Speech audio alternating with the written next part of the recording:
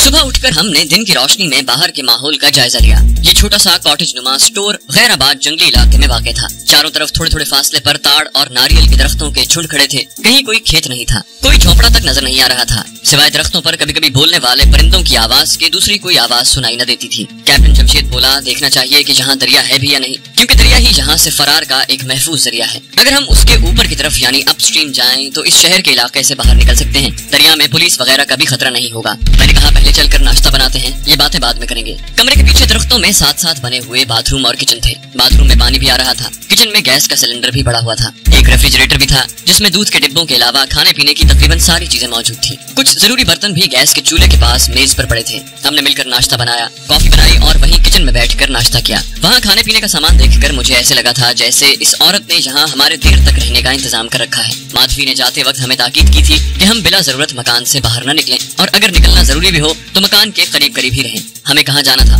नाश्ता करने के बाद कॉटेज के अकब में ऊँची झाड़ियों की ओट में लोहे की कुर्सियाँ डालकर बैठ गए और वहाँ से फरार के मंसूबों पर गौर करने लगे।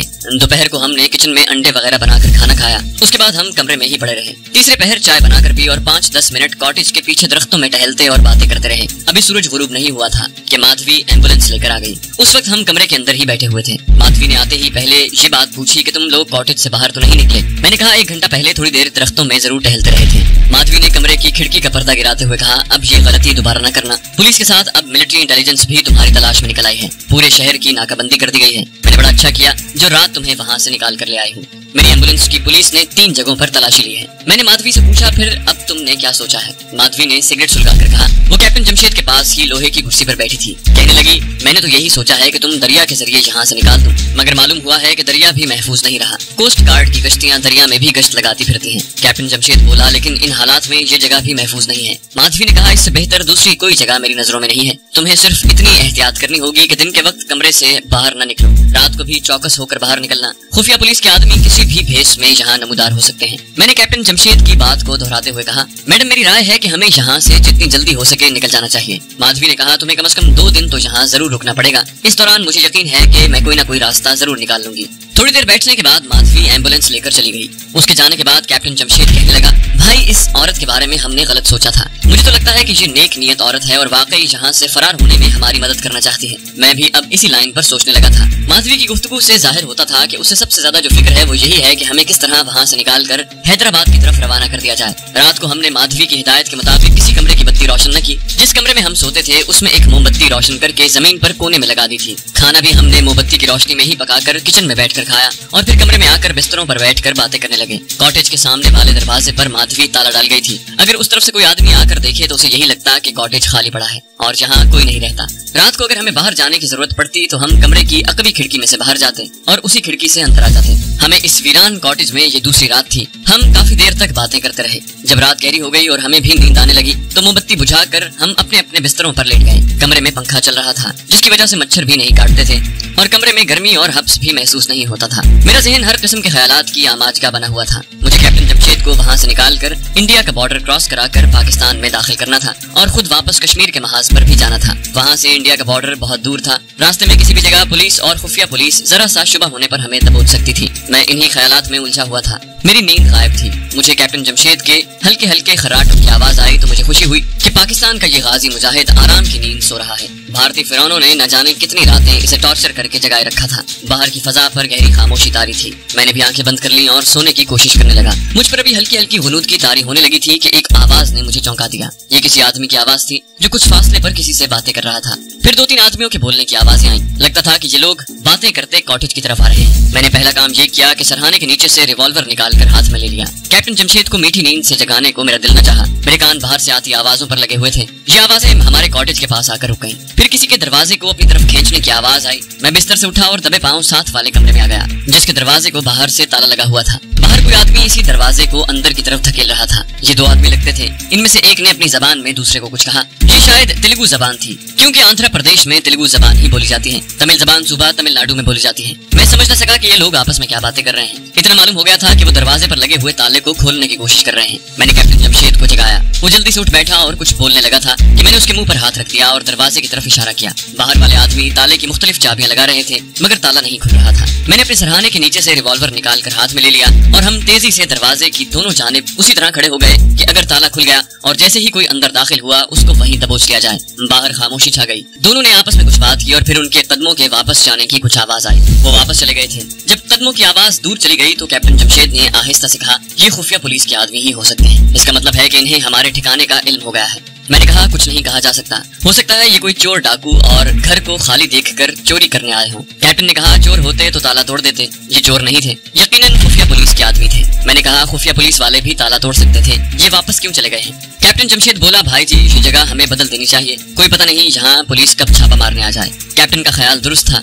मैं भी यही सोच रहा था। मैंने उसे कहा, यहाँ से उसी वक्त बाहर निकल कर दरख्तों में छुप जाते हैं। यहाँ खतरा है। हम इस वक्त कमरे की खिड़की में से दूसरी तरफ़ निकल गए। अंधेरी रात थी। हम दरख्तों में ऐसी जगह छुप कर बैठ गए, जहाँ से अगर कोई आदमी मकान के दरवाजे की तरफ़ जाता तो हमें नज़र आ सकता था। मेरे पास रिवॉल्वर था। कैप्टन जमशेद किचन में से एक आम चाकू ले आया था। दरख्तों के नीचे हमें मच्छरों ने तंग करना शुरू कर दिया था, मगर हम वहीं बैठे रहे और मच्छरों को भी मारते रहे। जब हमें वहाँ बैठे काफ़ी वक्त गुजर गया और कॉटेज की तरफ़ कोई न आया तो जमशेद ने कहा, मेरा ख्याल है कि वो लोग अब नहीं आएँगे। हमें कमरे में चले जाना चाहिए। मैंने भी सोचा कि अगर ये खुफिया पुलिस के आदमी होते तो अब तक पुलिस को बता चुके होते और पुलिस वहाँ पहुँच जाती। ये कोई चोर उचक्के थे। मकान का ताला न खुल सका तो इन्होंने चोरी करने का इरादा बदल लिया और चले गए। मैंने कैप्टन जमशेद से कहा, मेरा ख्याल है कि हमें कुछ देर और बैठे रहना चाहिए। कैप्टन जमशेद ने कोई एतराज़ न किया और हम दरख्तों की ओट में खामोशी से बैठे रहे। इतने में हमें कुछ फासले पर इंसानों के साय मकान की तरफ़ पड़ते नज़र आए। मैंने कैप्टन जमशेद को वो इंसानी साय दिखाए। वो भी गौर करने लगा ये तीन इंसान थे जो झुक कर बड़ी एहतियात से कदम उठाते मकान की तरफ़ आ रहे थे। इनका और हमारा फासला बीस पच्चीस कदमों का होगा।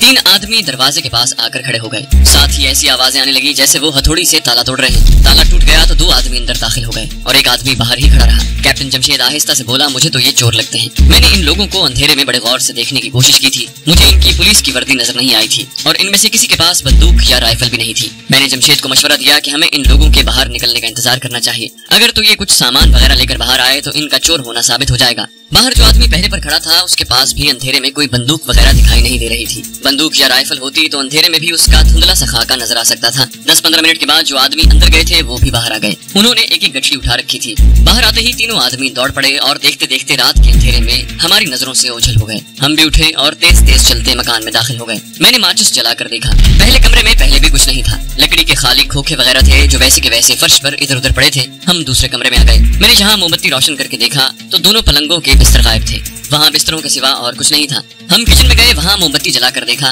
किचन का तकरीबन सारा सामान गायब था। सिर्फ़ मिट्टी की एक हांडी, एक सुराही, एक पुरानी केतली और एक ग्लास ही बाकी रह गया था। मैंने कैप्टन जमशेद से कहा, खुदा का शुक्र है कि ये चोर निकले। खुफिया पुलिस के आदमी नहीं थे। हमने इतमान का सांस लिया और लोहे के बगैर बिस्तर के पलंगों पर ही लेट गए। पंखा उसी तरह चल रहा था। इन चोरों ने छत का पंखा नहीं उतारा था। उसके बाद हम सो गए। सुबह उठकर दरवाजे को देखा, ताला ज़मीन पर टूटा हुआ पड़ा था। थोड़ी देर बाद मैडम माधवी आ गई। उसे सूरत हाल का इल्म हुआ तो वो सोच में पड़ गई। कहने लगी, यहाँ कभी कोई चोर नहीं आया। इन चोरों का आना खतरनाक साबित हो सकता है। आप लोगों को अब यहाँ नहीं रहना चाहिए। मैंने माधवी से कहा, मैडम, हमारा वैसे भी इस शहर में ज़्यादा देर रहना ठीक नहीं है। तुम किसी तरह हमें इस शहर से बाहर निकलने की कोई महफूज तरकीब बता दो, फिर तुम्हें भी इस परेशानी से निजात मिल जाएगी।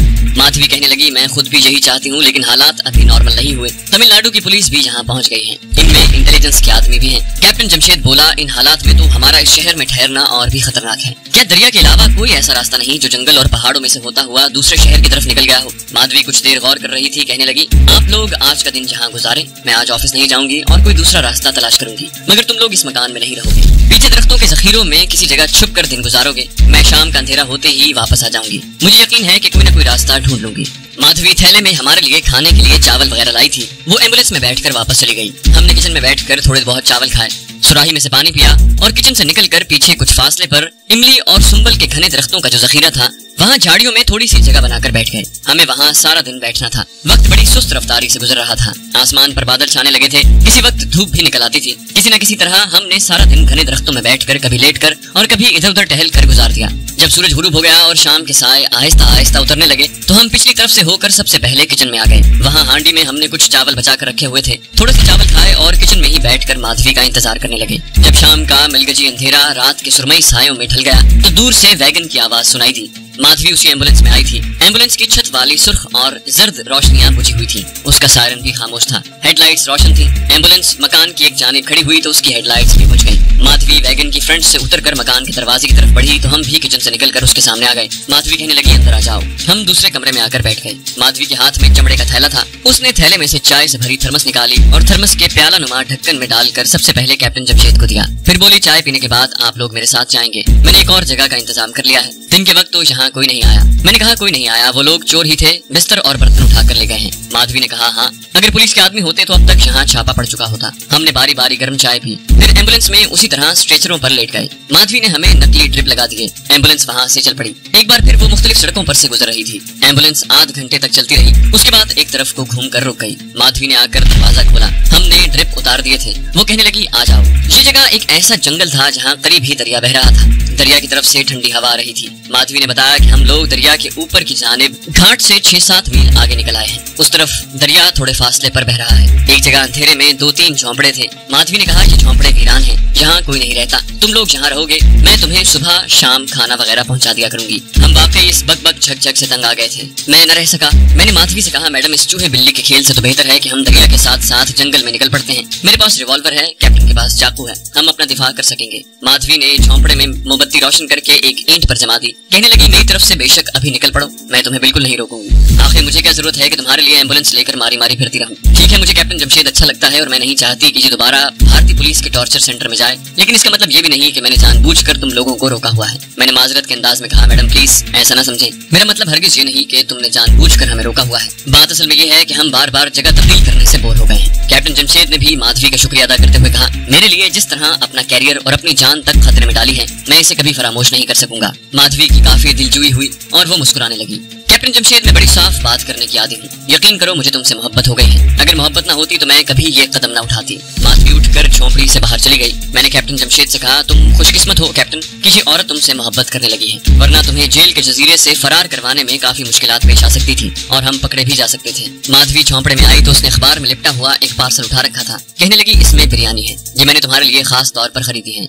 थर्मस में चाय भी मौजूद है। तुम्हारी रात आराम से गुजर जाएगी। मैं कल शाम के वक्त आऊँगी और मुझे यकीन है कि तुम लोगों के यहाँ से निकलने का कोई ना कोई बंदोबस्त करके ही आऊँगी। माधवी थोड़ी देर बैठ कर चली गई। हमने कागज़ का पार्सल खोला। अखबार के कागजों के अंदर केले के पत्तों में गर्म गर्म बिरयानी थी। आप ज़रूर सोचेंगे कि इस इलाके में बिरयानी कहाँ से आ गई। मैं इस इलाके में रहा हूँ और मेरी दास्तान सुनने वालों में से जो हजरात जुनूबी हिंद के शहरों में रह चुके हैं, उन्हें मालूम होगा कि जुनूबी हिंद में बिरयानी बहुत आम पकाई जाती है। होटलों रेस्तोरानों यहाँ तक के छोटे छोटे रेलवे स्टेशनों पर भी बिरयानी के पार्सल मिल जाते हैं। गाड़ी खड़ी होती है तो फेरी वाले लड़के पार्सल पार्सल की आवाज़ें लगाते प्लेटफॉर्म पर नमदार हो जाते हैं। उन्होंने केले के पत्तों में लिपटी हुई बिरयानी के पार्सल टोकरी में रखे होते हैं। आप केले के पत्ते हटाएँ तो उसके नीचे गर्म गर्म बिरयानी निकल आती है, जिसमें गोश्त के छोटे छोटे टुकड़ों के अलावा खूब मसाले डाले होते हैं। ये खाना वो अरब ताजिर अपने साथ लाए थे, जो कदीम जमाने में बसरे की बंदरगाह से माल लेकर जहाजों के ज़रिए निकलते थे, और हिंदुस्तान के जुनूबी साहिली शहरों से होते हुए मलेशिया, इंडोनेशिया और फिलिपाइन तक तिजारत की गरज से जाते थे। जहूर इस्लाम के बाद इन ताजरों के साथ मुसलमान बुज़ुर्ग उलमा हजरात भी ज़रूर आते थे।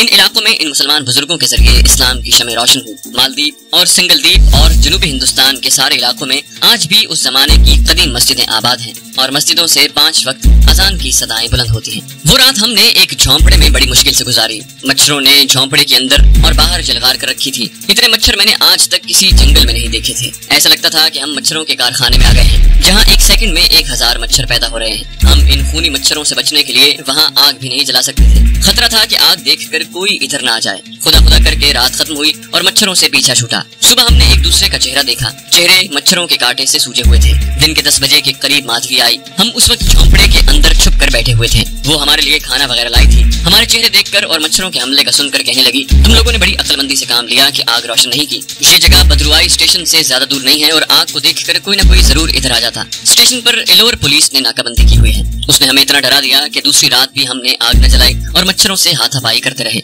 दूसरी रात भी आँखों में कट गई। दूसरे दिन माधवी दिन के बारह बजे आई। वो घबराई हुई थी, कहने लगी, बद्रुआई घाट स्टेशन पर रात पुलिस एक ट्रेन को रोककर दो घंटे तलाशी लेती रही। उसने कैप्टन जमशेद की तरफ़ देखकर कहा, कैप्टन जमशेद, मुझे मालूम नहीं था कि पुलिस के पास तुम्हारी तस्वीर मौजूद है। ये तस्वीर जेल में ली गई थी। अब तुम लोगों का यहाँ से फौरी तौर पर निकलना और मुश्किल हो गया है। कैप्टन जमशेद ये सुनकर हक्का बक्का सा होकर रह गया कि जेल के हुकाम ने उसकी तस्वीर पुलिस को दे दी है। कहने लगा यहाँ तक मुझे याद पड़ता है कि जेल में मेरी कभी कोई तस्वीर नहीं उतारी गई। माधवी ने उसकी बात काटते हुए कहा, ये तुम कैसे कह सकते हो? तुम्हें वहाँ इतना टॉर्चर किया गया था कि तुम्हें तो अपना होश नहीं था। तुम कई बार बेहोश हो जाते थे। जेल के लोग तुम्हारी तस्वीर किसी भी वक्त उतार सकते थे। हम पर माधवी की बातों ने मायूसी तारी कर दी। जब हमने उससे पूछा कि इस जहन्नम के झोंपड़े में हमें और कितनी रातें गुजारनी होंगी तो वो बोली, मैं अभी इस मामले में कुछ नहीं कह सकती, क्योंकि पुलिस चारों तरफ़ फैली हुई है। पीछे बदरुआई घाट स्टेशन पर तो पुलिस ने छावनी डाल दी है और मेरी इतला के मुताबिक पुलिस के गश्ती दस्ते दरिया के दोनों जाने तुम्हारी तलाश में गश्त लगा रहे हैं। ये सुनकर हम पर मजीद मायूसी छा गई। माधवी अगले रोज आने का कहकर चली गई।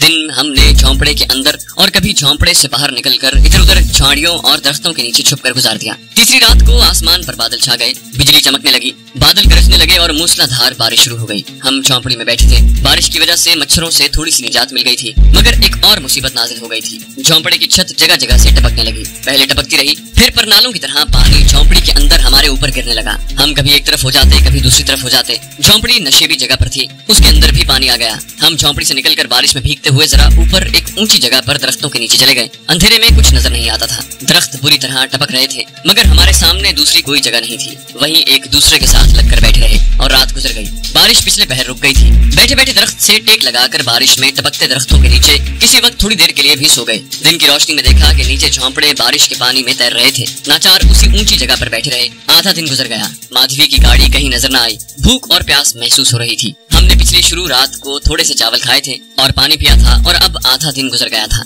मैं तो इससे भी ज़्यादा भूख बर्दाश्त कर सकता था, मगर कैप्टन जमशेद के होंठ प्यास से खुश्क हो रहे थे। कहने लगा, मैं बारिश का पानी पीने लगा हूँ। मैंने उसे कहा, जिसे तुम बारिश का पानी कहते हो, इसमें गंदा पानी भी शामिल है। ये पीने से बीमार पड़ जाओगे। तीसरे पहर जाकर कहीं बारिश का पानी उतरा और हम कीचड़ में से गुजरते हुए झोंपड़ी में आ गए।